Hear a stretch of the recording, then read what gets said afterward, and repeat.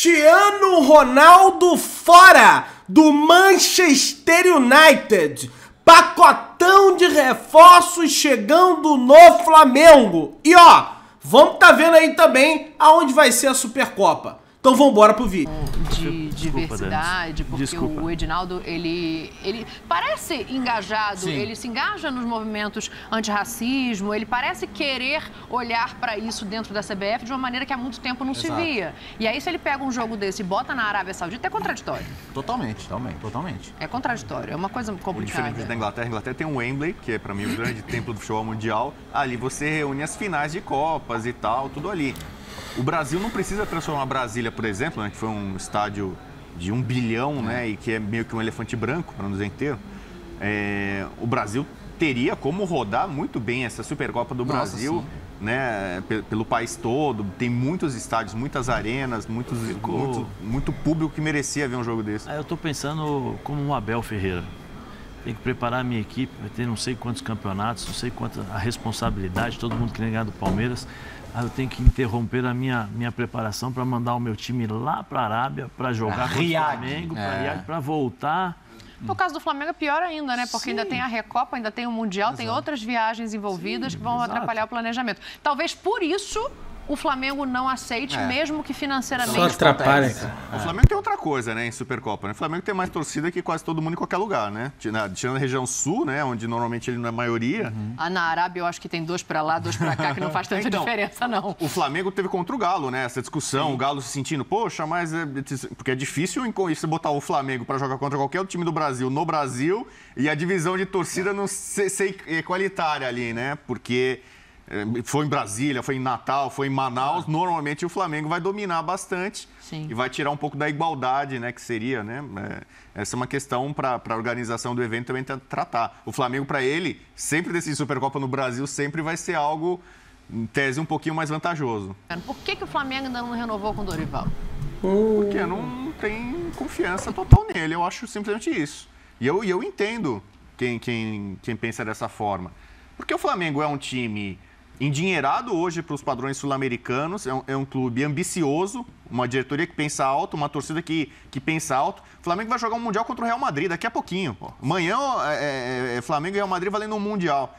É, se o Flamengo entende que o Dorival é pequeno para um projeto desse porte, é, e, e, pode pensar no Marcelo Galhardo, que está aqui saindo do River, ou num técnico... Que já falou que quer ir para a Europa, então, né? Mas estou dando esse exemplo. Sim. Se o Flamengo entende, e eu concordo, que tem técnicos melhores, gente mais capaz para pegar um projeto desse, desse, desse nível, por que não? Ah, porque ele ganhou a Copa do Brasil, que o Flamengo era amplamente favorito, para mim. É, porque ele ganhou a Libertadores que especialmente na final então, o Flamengo... aí eu vou te dar uma provocada. Ele era favorito a partir do momento que o Dorival chega e refaz todo um trabalho que estava então, perdido. Porque em julho come... o Flamengo não era favorito para nada. Então, mas quando começou a temporada, a gente sempre falou, tem três times que vão brigar pelos principais títulos. Flamengo, Palmeiras e Galo. O Galo foi uma decepção completa na, na, temporada. O Palmeiras, eu acho, tropeçou na, na Copa do Brasil com o São Paulo, mas ah, fez uma aposta e um investimento no brasileiro, coisa que o Dorival foi, foi preponderante para tirar do Flamengo, né? No jogo crucial entre os dois, que ele põe time em reserva e abre mão. O Flamengo fez uma aposta nas Copas, porque, entre outras coisas, ele tinha grande chance de sucesso.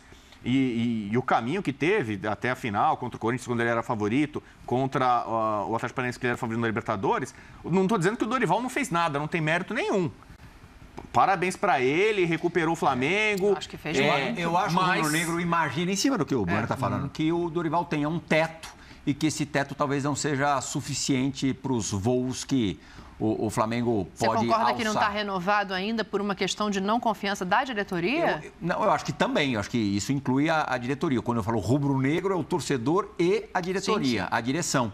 É, eu acho que é, é, indiscutível que os resultados do, do Dorival foram uhum. bons. Ele tem virtudes é, claras, mas é, eu, eu, eu, à distância, vejo o torcedor do Flamengo e a direção do Flamengo temerosos quanto à capacidade do Dorival tirar mais desse time, esse time render mais, conseguir mais conquistas. Além do que, falta uma grifezinha que também todo mundo gosta e aí não é exclusividade do, do torcedor do Flamengo, da direção do Flamengo. Um clube que esteja no patamar é, financeiro que o Flamengo está, é, costuma pleitear treinadores com, com mais renome e tal. Agora a questão é que, tirando o Galhardo, citado pelo, pelo Bueno, que para vir aqui para o Brasil é, não vai vir nada barato, muito pelo contrário, uma fortuna, talvez Já era caro na Argentina, né? Já era caro. Imagina. Quem mais você traz com a segurança que vá conseguir um trabalho superior ao do Dorival? Eu acho que tem três pontos aí para ouvir vocês dois também, uhum. completar o Plirra. Eu acho que além de quem mais é quando, porque Sim. tem um monte de competição batendo a porta. E ninguém é mágico. E me parece um pouco antagônico, um pouco contraditório, que em um momento a gente fale, ah, o Dorival é um nome cotado, cotado não, é especulado para assumir seleção. E aí o Flamengo acha que ele não é capaz de... de, então, mas de eu, eu, eu acho que o absurdo, com todo respeito uhum. ao Dorival, é ele ser cotado para dirigir mas, a seleção. Mas, mas aí eu tô pensando assim, se essa renovação não aconteceu também por falta de pressa do Dorival. É isso, tem outro que, lado. Queira, queira ou não, assim, por mais absurdo que a gente possa pensar que é, a seleção brasileira não tem hoje um, um, um pole position aqui. Quem que é o, quem que é o favorito para assumir a seleção brasileira da Copa do Mundo? Alguém é capaz de falar? Mas o Flamengo, Léo, não pode ficar à mercê de treinador. Não, eu concordo, Zé. Do, do, do, acho que o Flamengo já tem que bater na porta e falar assim, ó, o treinador é esse, porque tem que fazer planejamento, é. porque nós, cinco o, minutos atrás, nós é estávamos falando da quantidade o, o, o ponto para mim é assim, o, a, a, a, vocês falaram em grife. Existe um profissional de primeira prateleira acessível ao Flamengo hoje? O Tite vai assumir o Flamengo após a Copa não. do Mundo? Não vai. Tá? Então, é, é, posto isso Guardiola tudo... também não, não, o Guardiola vai não. renovar até 25, tá? Ou seja, não, não vai estar disponível não tem que trazer, a curto prazo. Então, assim, dentre... Eu, eu, eu consigo entender todas as ponderações, não consigo esquecer também que o Dorival pegou um time totalmente desarrumado pelo trabalho do Paulo Souza e arrumou rápido e foi campeão de duas competições. E nesse aspecto, eu acho que a continuidade ainda é o mais favorável. Porque eu não vejo o nome indiscutível para assumir agora. Eu, eu, mas eu entendo o ponto do Zé também, que é não demorar também. Porque ano que vem tá aí, o mercado tá aí, tem competição importante para planejar, tem um monte de coisa para fazer. É, e a gente Fala, sempre Zé. falou que ah, o Dorival precisa ganhar um título importante para subir de, é. Ganhou dois. de prateleira, de patamar, né? Sim. Porque tá faltando, porque ele só ganhou a Copa do Brasil, o Campeonato Carioca e tal. É difícil de a gente entender essa avaliação, né? Porque às vezes gente, nós falamos, tem que ter o título. Aí Sim. o cara tem o título e ao mesmo tempo você não, não é valorizado. Ou a gente não sabe também porque o Dorival não se pronuncia. Então, eu, eu não sei, eu não sei quem é quem, que assim, se, é, se a diretoria ou procurou, se ele falou vamos esperar, ninguém sabe. Zé, as duas conquistas do Flamengo foram merecidíssimas, é, indiscutíveis. Mas eu tenho certeza que se o Flamengo tivesse sido campeão no tempo normal contra o Corinthians no Maracanã, dando show. Jogando o que consegue jogar, o que pode jogar. E com mais sobras na, na final da Libertadores. O contrato já estaria renovado. O olhar em relação ao Dorival seria diferente. É, mas aí eu, também a gente precisa avaliar quanto passa pelo Dorival, quanto passa pela equipe, né? Porque eu acho que assim, ele, ele achou soluções muito interessantes para um Flamengo que estava desacreditado. Ele bota um trabalho para andar. E se a gente prega sempre que tempo faz diferença, tá aí o Abel que chega, ganha um título num primeiro momento feio, né, retrancado, e depois coloca ali várias maneiras desse Palmeiras jogar bonito, bem, diverso, por que, que para o técnico brasileiro isso não se aplica, sabe? Eu fico com essa questão, hum. assim. Eu, eu, acho assim, o grande mérito, talvez, muita gente associa o, o Dorival a unir Gabigol e Pedro. O Gabigol jogou... Não, o Everton Ribeiro, ele reposicionou então, ele, o Everton ele melhorou Ribeiro. outros casos, mas assim, o Gabigol, esse sacrifício que o Gabigol fez nessa temporada para ceder um pouco de protagonismo pro Pedro, jogar centralizado e tal, é porque ele gostava do Dorival desde a época do Santos. A relação pessoal do Dorival é muito boa. E, e, porque e, e a lesão do Bruno Henrique, é, é, digamos assim, quebrou um galho. Ah, é triste dizer isso, mas é uma realidade. A, a saída do Bruno Henrique permitiu a ele. ter botado o Cebolinha pensar, e mantido a não, maneira de jogar. Sem pensar duas vezes, ele, ele pôde botar. E agora? Eu, eu, eu, eu sou curioso, porque quando ele ganhou a Libertadores, o Dorival né, até meio que né, deu uma coletiva dando uma resposta para alguns dos críticos dele, né, e eu, eu me incluo entre eles, do tipo, não, é, eu quero ver, vou botar para jogar Bruno Henrique, Pedro, Gabigol, Arrascaeta, vou botar todo mundo. Eu tô curioso para ver. Do, do, Dorival continuar no Flamengo, ter o Bruno Henrique de volta em bom, em bom nível, a gente espera. E aí, qual vai ser a solução que vai arrumar? Aí sim ele vai ter que mostrar é, engenharia, habilidade para não, não, se eu, eu, se eu não fosse, derrubar egos ali. Se eu fosse treinador, eu gostaria de ter essas dúvidas. Quem eu vou colocar? Bruno, é, Gabigol, Pedro? Eu, poxa, eu iria adorar ter essas dúvidas. Não é muito melhor do que machucar poxa, alguém, você tem que improvisar? Melhor, bem melhor. Se olhar para o banco, não tem ninguém. Sim. Ah, para mim é. Vou seria, voltar no Tite, hein? Que tem tantas opções seria, aí, hein? Seria, seria fantástico. Seleção. Mas seria, é, mas seria Acho fantástico. Acho que o Tite preferia treinar o Irã? É, então. Mas para mim seria fantástico. É, é, são consequências do. Eu do, acho que do... o torcedor do Flamengo continua idealizando a coisa apoteótica, assim. O torcedor do Flamengo lá no fundo, lá, lá dentro, assim, ele ainda não, pensa né? no Galhardo ah, tá. e no Jesus. É? Tá, mas Jesus não vai voltar agora nesse momento, uma volta messiânica. Eu ainda acho que um dia ele vai dirigir o Flamengo de novo, porque realmente essa, essa ligação é muito forte, né? Mas não está com pinta de que vai ser agora, né? Não dá para ficar esperando também. Então, é, é, eu acho que o Galhardo tem um planejamento claro de que ele bateu no teto em termos de América do Sul e que seria um, um, prolongamento, vamos dizer assim, de ele não precisa. É, na, na, eu acho que na cabeça do Galhardo. Chegou a ser cogitado o é, Barcelona. Sim. Né? Por, mais que, por mais que o Brasil hoje seja uma liga mais forte que a Argentina, indiscutivelmente, eu acho que ele não, sente que ele tem que provar algo dentro do continente dele mais, né? Então, acho que é, a cada história, ah, quer, me quer, então me paga coisas absurdas que talvez nem na Europa eu vá ganhar. Mas eu acho que não, não, não é o caminho que ele pensa, não. Bom, a gente está vendo a imagem do Dorival, tem outros nomes, né, que ficam ali sempre nessa época do ano, a especulação de quem entra, quem sai. Vou pedir para tirar o Dorival e colocar a telinha para a gente, para a gente dar uma olhada. A gente sabe é, do Gerson, que existe um interesse do Flamengo, o, o presidente fala em informação? Sim. Então, palavra sua. Ok. Cristiano Ronaldo não é mais jogador do Manchester United. Rapaz! Sabia.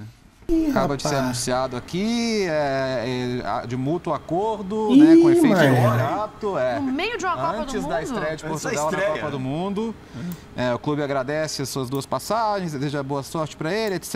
E é isso. Bom, estava na cara depois da entrevista, mas talvez ninguém imaginasse que fosse tão rápido e, e antes de Portugal Olha, CR7 no Mengão. Eu vou até... Aí, ó. Daqui a pouco... O que, que eu tenho que fazer agora? Ir para o aeroporto? Cadão da bola do Flamengo, muitas especulações e muitas coisas acontecendo também. A Copa está rolando e a seleção brasileira é assunto também no Flamengo. Isso porque o técnico Dorival Júnior está entre os nomes cotados para substituir Tite depois do Mundial. Apesar dos rumores, o presidente da CBF, Edinaldo Rodrigues, garante que o assunto não foi tratado ainda com nenhum treinador e que a entidade está 100% focada no Catar. Depois das conquistas da Copa do Brasil e da Libertadores, o técnico Dorival Júnior curte as merecidas férias em Santa Catarina e aguarda uma definição sobre o futuro. O Flamengo quer renovar o vínculo do treinador por mais dois anos. A questão é: e se o convite da CBF chegar? Deve continuar no Flamengo, que trouxe título pra gente.